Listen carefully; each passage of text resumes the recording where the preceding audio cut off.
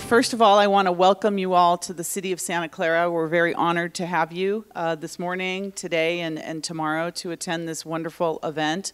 Um, we are called the center of what's possible here in Santa Clara because we have a very entrepreneurial spirit here. Our city started uh, a, a couple centuries ago, but we took a lot of risks uh, over the years. We're a small city who, who runs very efficiently.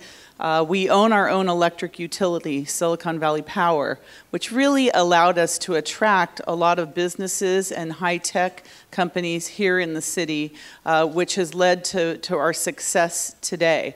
Just like um, Mayor Scharf of Cupertino, uh, Santa Clara has always had a very business oriented spirit, but we also know there's a responsibility when you, once you do have businesses here in the city to also make sure you're taking care of your community. And I know that's the, uh, a lot of the theme of your, of your conference the next couple of days that we all have a responsibility uh, to make sure that, that our quality of life is of the utmost importance in, in all the decisions we make, whether you know business or government or personal.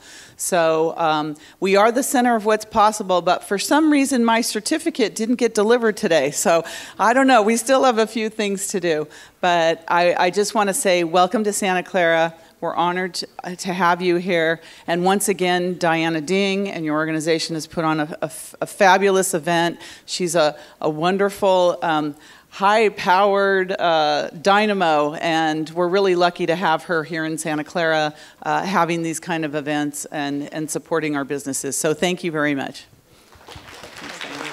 Thank you, Lisa.